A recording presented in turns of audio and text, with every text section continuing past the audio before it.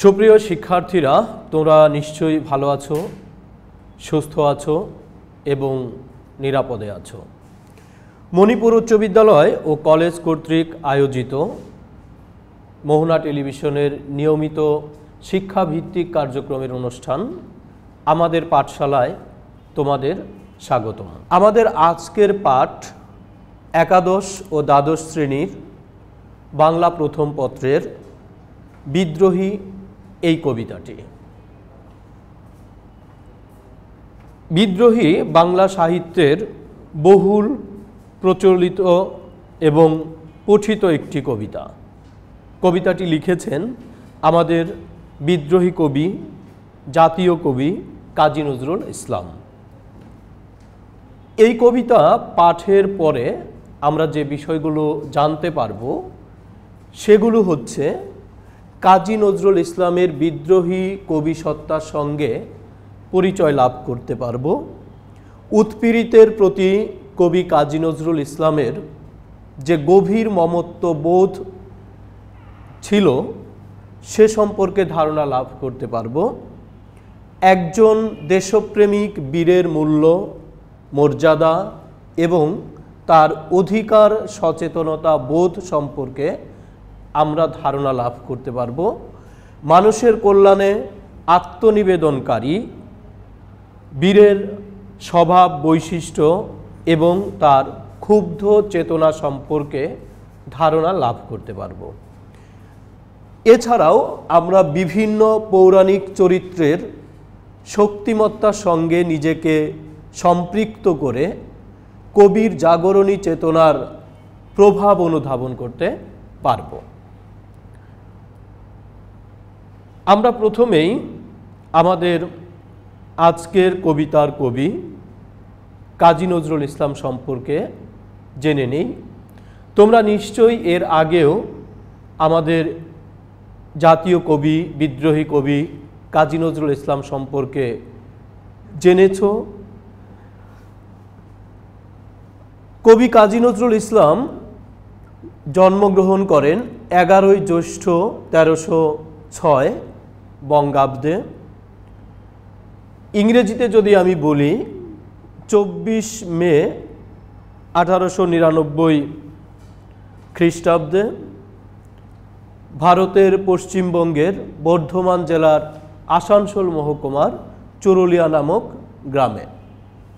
আমরা সকলেই জানি যে কবি নজরুল যে পরিবারে জন্মগ্রহণ করেছিলেন, সে পরিবার খুব সচ্ছল ছিল না। দারিদ্রের মধ্যেই তাকে জীবন অতিবাহিত করতে হয়েছে। কবির বাবার নাম ছিল কাজী ফকির আহমেদ এবং মায়ের নাম জাহেদা খাতুন। ছোটবেলা থেকেই কবি চরম দারিদ্রের মধ্যে দিনাতিপাত করেন। আমরা জানি মাত্র আট বছর বয়সে কবির বাবা মারা যান। ফলে তার পরিবার আরও বেশি দারিদ্রের সম্মুখীন হয়েছে। ফলে ছোটবেলা থেকেই আমাদের এই জাতীয় কবিকে বিভিন্ন কাজ করে তার জীবন অতিবাহিত করতে হয়েছে। আমরা জানি তিনি ছোটবেলায় রুটির দোকানে কাজ করতেন। তারপর তিনি যে স্কুলে পড়াশোনা করেছিলেন নিম্ন মাধ্যমিক, তেরোশো সালে সেখান থেকে তিনি পাশ করেন এবং ওখানে এক বছর শিক্ষকতা করেন। তারপর লেটুর গানের দলে তিনি যোগ দেন এবং এই লেটুর গানের দলে যোগ দেওয়ার ফলেই তার যে কবি প্রতিভা, তার যে সৃষ্টিশীল মন, সেটি বিকশিত হতে থাকে। অর্থাৎ আমরা যে কবি নজরুলকে পাই, তার উন্মেষ হয়েছিল লেটো গানের দলে থাকা অবস্থায়। সেখানে তিনি দলের জন্য গান লিখতেন এবং দলকে, দলের সাথে সার্বক্ষণিক যুক্ত থাকতেন। এরপরে উনিশশো সতেরো সালে কবি প্রথম বিশ্বযুদ্ধে ঊনপঞ্চাশ নম্বর বাঙালি পল্টনে সৈনিক হিসেবে যোগদান করেন।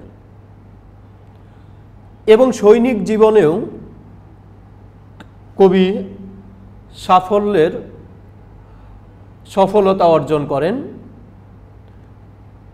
সৈনিক হিসেবে অংশগ্রহণ করে তিনি করাচিতে যান এবং সেখানে তিনি হাবিলদার পর্যন্ত পদোন্নতি প্রাপ্ত হয়।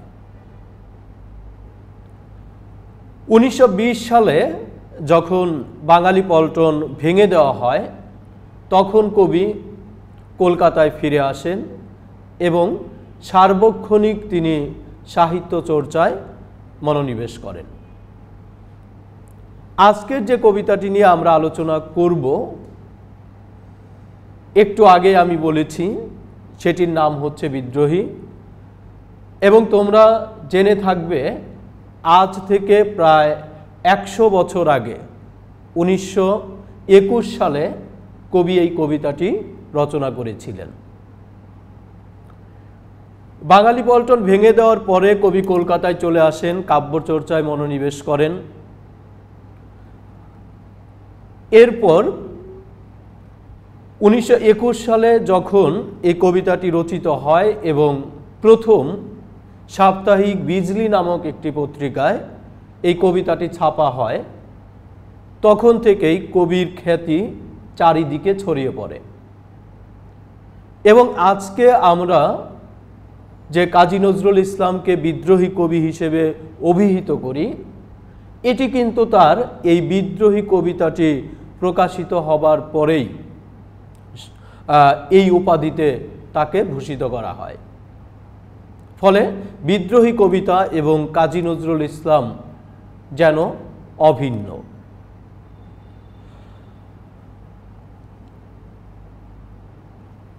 এরপরে আমরা জানি যে মাত্র তেতাল্লিশ বছর বয়সে কবি দুরারোগ্য ব্যাধিতে আক্রান্ত হয় এবং দীর্ঘদিন তিনি নির্বাক থাকেন। বাংলাদেশ স্বাধীন হবার পরে উনিশশো বাহাত্তর সালে জাতির জনক বঙ্গবন্ধু শেখ মুজিবুর রহমান অসুস্থ কবিকে ঢাকায় নিয়ে আসেন এবং জাতীয় কবির মর্যাদায় প্রতিষ্ঠিত অধিষ্ঠিত করেন বা জাতীয় কবির মর্যাদা দেন। কাজী নজরুল ইসলামের বিভিন্ন কাব্যগ্রন্থ রয়েছে। তার মধ্যে উল্লেখযোগ্য কাব্যগ্রন্থ হচ্ছে অগ্নিবীণা বিষেরবাসী সাম্যবাদী, প্রলয় শিখা, চক্রবাগ, সিন্ধু হিন্দোল, সন্ধ্যা, সর্বহারা ইত্যাদি। শুধু কবিতা বা কাব্যগ্রন্থ রচনা নয়, কবি গল্প, উপন্যাস, নাটক প্রভৃতি রচনা করেছেন এবং সেখানেও তিনি অত্যন্ত সফলতার স্বাক্ষর রেখেছেন। তার যে বিখ্যাত গল্প গ্রন্থগুলো আছে, সেগুলো হচ্ছে ব্যথার দান, রিক্তের বেদন, শিউলিমালা এবং বাঁধনহারা, কোহেলিকা মৃত্যু খোদা এগুলো তার বিখ্যাত উপন্যাস। এছাড়া যে প্রবন্ধ গ্রন্থগুলো রয়েছে, সেগুলো হচ্ছে যোগবাণী, দোরদিনের যাত্রী রুদ্র মঙ্গল এবং রাজবন্দির, জবানবন্দি। বারোই ভাদ্র তেরোশো তিরাশি বঙ্গাব্দ এবং ইংরেজি উনতিরিশ আগস্ট উনিশশো ছিয়াত্তর সালে আমাদের এই জাতীয় কবি শেষ নিঃশ্বাস ত্যাগ করে। ঢাকা বিশ্ববিদ্যালয়ের মসজিদের পাশে কবিকে সমাহিত করা হয়। আমরা কিছু ছবি দেখে নেই।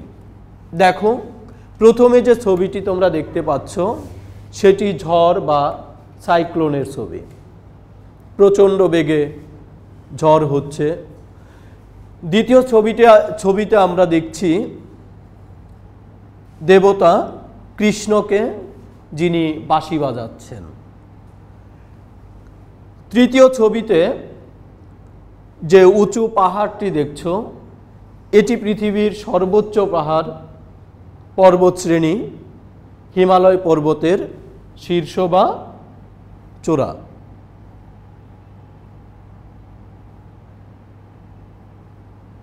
চতুর্থ ছবিতে আমরা দেখছি একজনের হাতে ত্রিশূল এবং ডমরু বা ডুগডুগি জাতীয় বাদ্যযন্ত্র।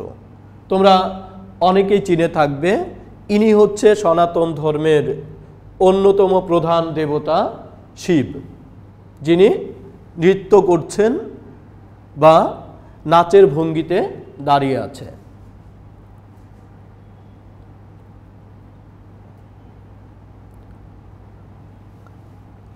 আমরা এখন মূল কবিতায় চলে আসি। তার আগে আরেকটু তোমাদের বলে নেই, এই কবিতাটি কবির অগ্নিবীণা কাব্যগ্রন্থ থেকে নেওয়া হয়েছে এবং এটি অগ্নিবীণা কাব্যের দ্বিতীয় কবিতা। এটা তোমরা মনে রাখবে। দেখো,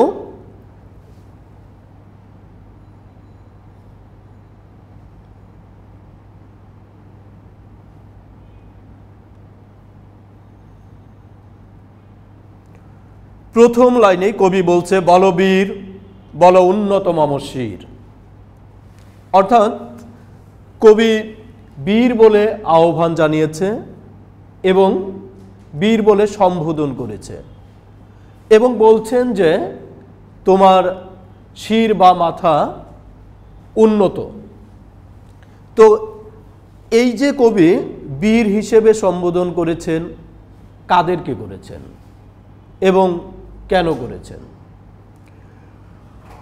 এখানে কবি বীর হিসেবে যাদের সম্বোধন করেছেন আমরা যদি বলি স্বাভাবিকভাবে সেটি হচ্ছে ব্রিটিশ শাসিত ভারতের নির্যাতিত, নিপীড়িত বাঙালিকে উদ্দেশ্য করে কবি এ কথাটি বলেছেন। কবি নিজেও বাঙালি এবং প্রতিটি বাঙালিকেই তিনি বীর হিসেবে সম্বোধন করেছেন বা আহ্বান করেছেন।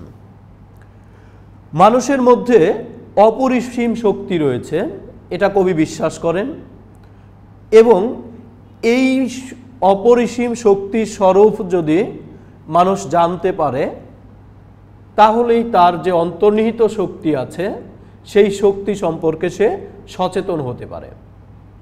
তখনই মানুষের পক্ষে অসাধ্যকে সাধন করা সম্ভব, পরাধীনতার শৃঙ্খল থেকে মুক্ত হওয়া সম্ভব, যে কোনো প্রতিকূলতাকে অতিক্রম করা সম্ভব। অর্থাৎ যে কোনো ধরনের প্রতিকূলতাকে অতিক্রম করার জন্য মানুষের প্রথম কাজ হচ্ছে নিজেকে জানা। এরপরের লাইনে বলছেন, শির নেহারি আমারই নত শির ওই শিখর হিমাদ্রির। কবি বলছেন যে, আমার যে শির, আমার যে মস্তক, আমার যে মাথা, সে মাথা এতটাই উঁচু যে হিমালয় পর্বতের শীর্ষ বা চোরা যেন আমার চেয়ে, আমার মস্তকের চেয়ে নিচু। অর্থাৎ কবির মাথাটা হিমালয় পর্বতের শীর্ষ চূড়াকে ভেদ করে উপরে উঠে গেছে। মানে এতটাই সে উন্নত। এরপরে বলছেন, আমি চির দুর্দম দুর্বিনীত, নৃশংস। মহাপ্রলয়ের আমি নটরাজ, আমি সাইক্লোন, আমি ধ্বংস। এখন দেখো যে কবি বলছেন যে আমি চির দুর্দম, দুর্বিনীত, নৃশংস, মহাপ্রলয়ের নটরাজ, আমি সাইক্লোন, আমি ধ্বংস।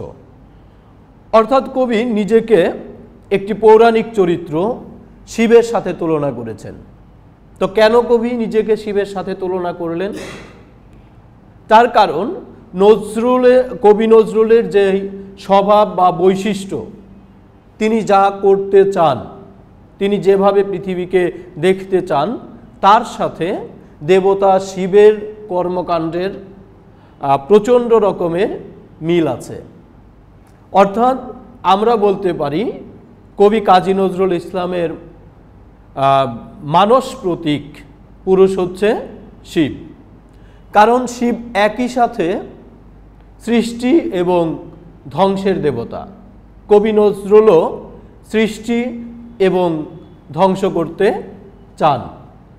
তো সৃষ্টিকালে এই শিব সৃষ্টির ধ্বংসকালে এই শিব বা এই দেবতা ভয়ঙ্কর মূর্তি ধারণ করে এবং সে মূর্তিটা হচ্ছে নৃত্যময়, অর্থাৎ নাচের ভঙ্গিতে। অর্থাৎ যখন শিব কোনো কিছু ধ্বংস করে সেই সাথে তিনি সে এক ধরনের তাণ্ডব নৃত্য করে থাকেন। কবি শিবের মতোই বিদ্রোহী। তাকে দমন করা কঠিন। তিনি শত্রুর কাছে উদ্ধত ভদ্র বা বিনয়ী নয়।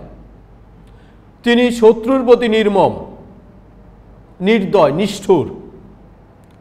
তো এই যে এত নির্মম, নির্দয়, নিষ্ঠুর কেন? কি কারণে? সেটি হচ্ছে কবি চান সকল অন্যায়, অকল্যাণ অমঙ্গলনে, অমঙ্গলের অবসান হোক। আর এই অন্যায়, অকল্যাণ, অমঙ্গলের অবসান করার জন্য তিনি সাইক্লোনের মতো সকল কিছুকে ভেঙে, চোরমার করে সামনের দিকে এগিয়ে যেতে চান। ধ্বংস করতে চান। কিন্তু এই ধ্বংস করেই কিন্তু তিনি ক্ষান্ত নন। তিনি আবার নতুন কিছু সেখান থেকে সৃষ্টি করতে চান। এরপরে বলছেন, আমি মহাভয়, আমি অভিশাপ পৃথ্বীর, আমি দুর্বার, আমি ভেঙে করি সব চোরমার। অর্থাৎ কবি প্রচণ্ড সাহসী, সব কিছুকে তিনি ভেঙে চড়ে সামনের দিকে অগ্রসর হতে চান। কিন্তু কোনগুলোকে তিনি ভাঙতে চান? যেগুলো অন্যায়, যেগুলো অবিচার, যেগুলো শোষণ, যেগুলো নির্যাতন, সকল কিছুকে তিনি ভাঙতে চান। আর এই ভাঙার ক্ষেত্রে কবিকে কেউ নিবারণ বা নিবৃত্ত করতে পারবে না। তবে এই যে ভাঙা বা ভেঙে সামনের দিকে এগিয়ে যাওয়া যেই কথা কবি এই কবিতার মধ্যে বলেছেন তার মূলে যে উদ্দেশ্যটা ছিল, সে উদ্দেশ্যটা হচ্ছে পরাধীন ভারতবর্ষের। অর্থাৎ আমরা জানি, কাজী নজরুল ইসলাম যখন এই কবিতাটি রচনা করেন, তখন পুরো ভারতবর্ষ ব্রিটিশ শাসিত। ঔপনিবেশিক শাসনের শৃঙ্খলে আবদ্ধ। ফলে এই উপনিবেশিক শাসনের শৃঙ্খলে আবদ্ধ বাঙালি জাতির মনে দেশপ্রেম বা দেশের প্রতি ভালোবাসা সঞ্চার করার জন্য এবং সচেতন হয়ে ব্রিটিশ রাজশক্তির বিরুদ্ধে যেন প্রচণ্ড আঘাত হানতে পারে। সেই কারণে তিনি দেশবাসীর মনে সাহস সঞ্চার করতে চান। অর্থাৎ দেশবাসীকে অভয় দেন, যেন তার মতো ব্রিটিশ শক্তির বিরুদ্ধে জাগ্রত হয় এবং ব্রিটিশ শক্তির ভীত ভীতে প্রচণ্ড আঘাত করে।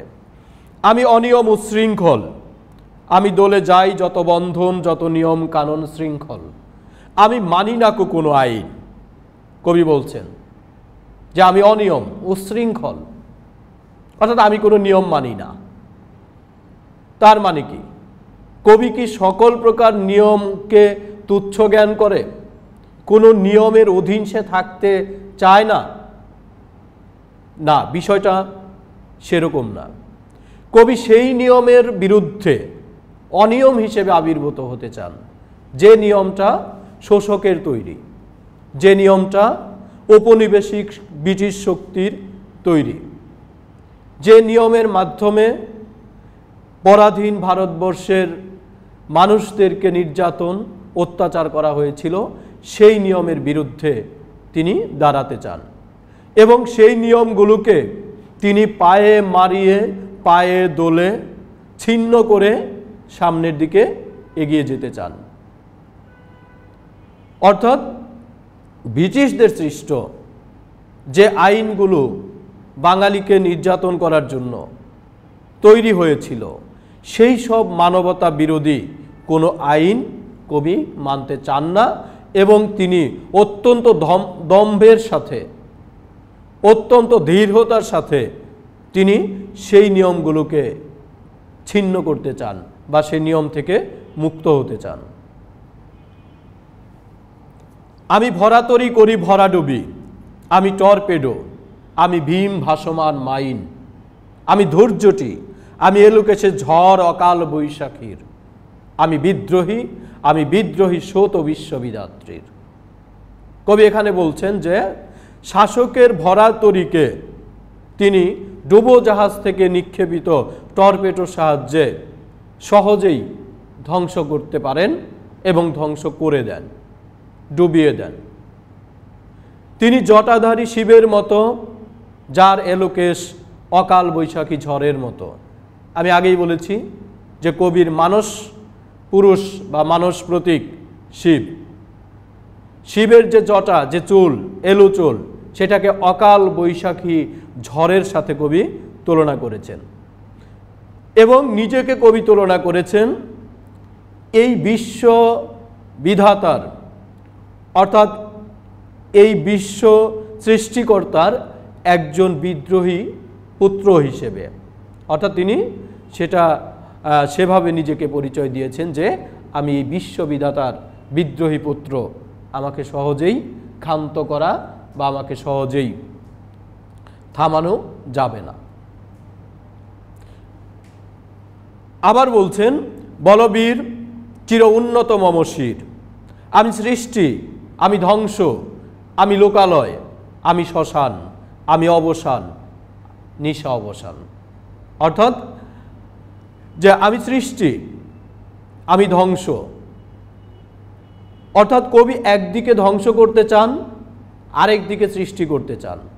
ধ্বংস করতে চান শাসকের শৃঙ্খল, ধ্বংস করতে চান মানবতা বিরোধী আইন ধ্বংস করতে চান অন্যায়, অত্যাচার।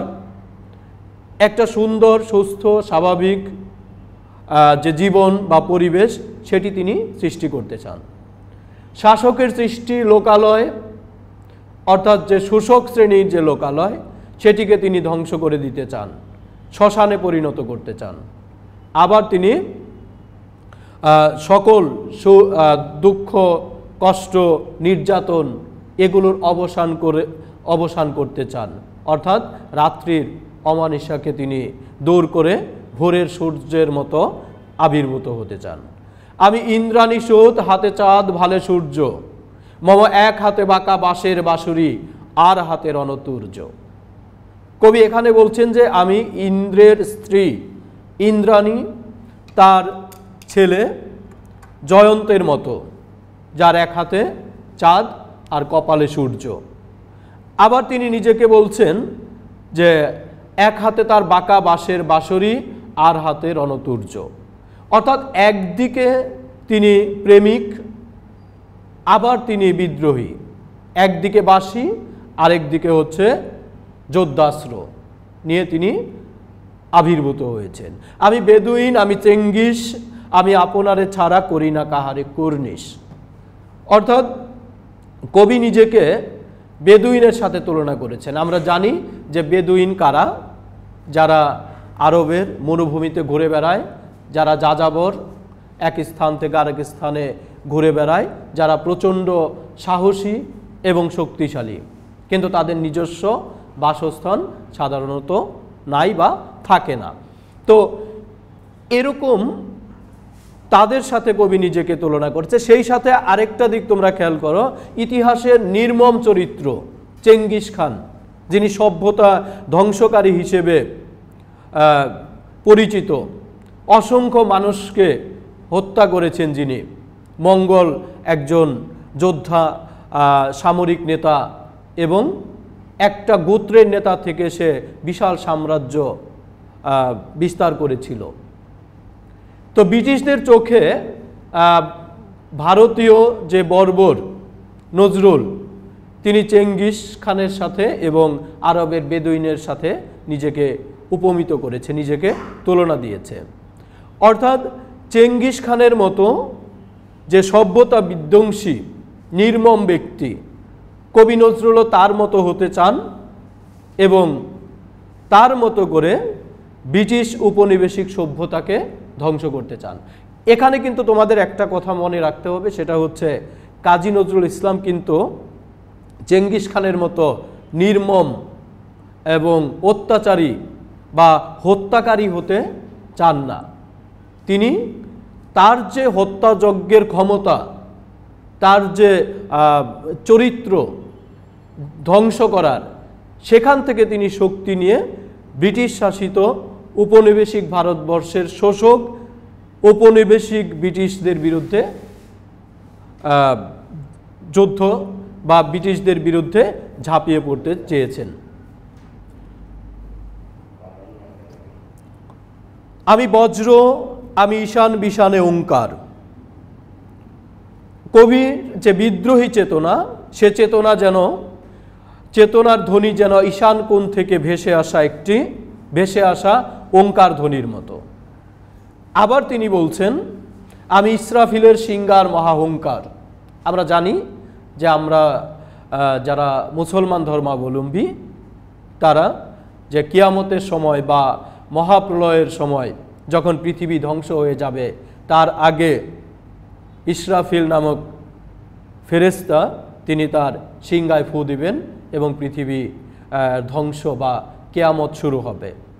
তো কবি নিজেকে ইসরাফিলের সেই সিঙ্গার সাথে তুলনা করেছেন। তো শিক্ষার্থীরা, তোমরা নিশ্চয়ই যতটুকু তোমাদেরকে আজকে পড়ালাম, তোমরা বুঝতে পেরেছ। এর পরবর্তী অংশ আমরা এর পরের ক্লাসে আলোচনা করব। এ পর্যন্ত তোমরা সকলেই সুস্থ থাকো, স্বাভাবিক থাকো, ভালো থাকো। এই প্রত্যাশায় আল্লাহ হাফেজ।